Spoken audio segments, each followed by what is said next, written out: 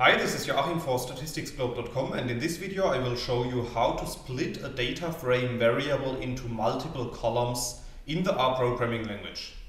So in the video I'm going to show you several examples and all of these examples are based on the data frame that we can create with line 2 of the code. So if you run this line of code you will see that at the top right of RStudio a new data frame object appears and we can also have a look at this data frame object by clicking on the data object and then you will see that our data frame contains only one column which is called x and in this column we have stored three character strings that are all separated by a minus sign. So let's assume that we want to split this variable into two columns.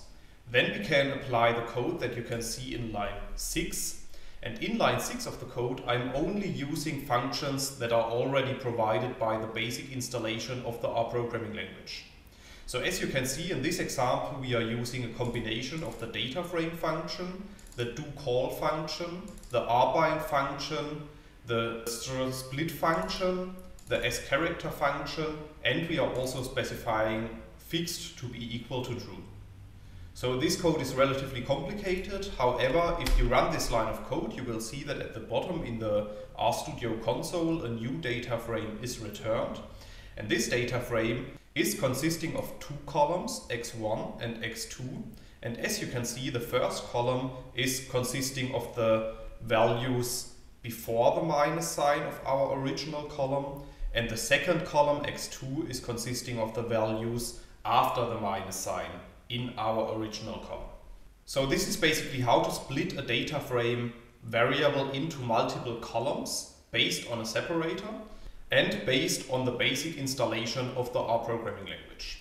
However, as you have seen, this code is relatively complex and for that reason I want to show you easier ways how to do that in the following two examples of this tutorial.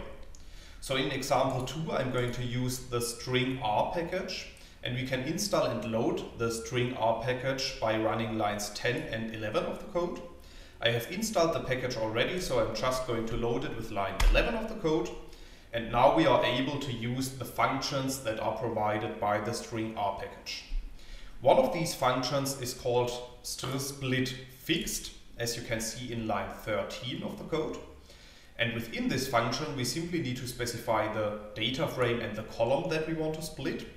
Then we need to specify a separator and then we need to specify the value 2. And if you run this line of code, you will see that a matrix is returned at the bottom in the RStudio console.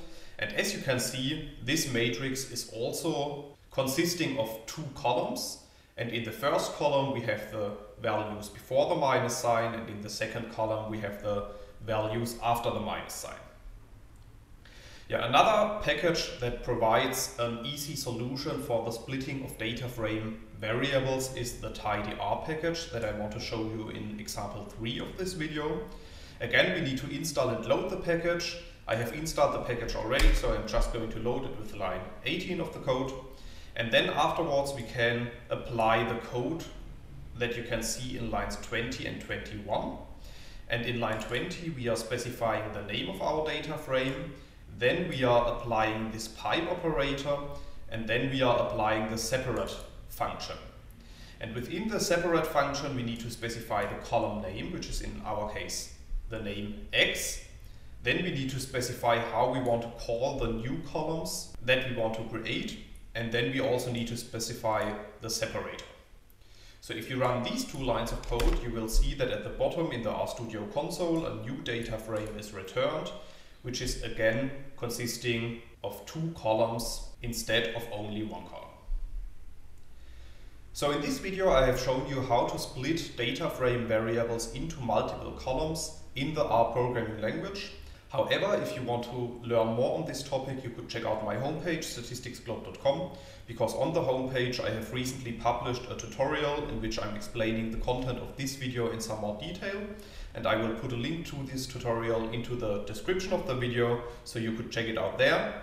And furthermore, if you have liked the video, I would be very happy if you leave me some positive feedback in the comments. And don't forget to subscribe to my YouTube channel in order to get notifications in future when I'm releasing new videos to the channel. That's it for this video, thanks a lot, see you next time.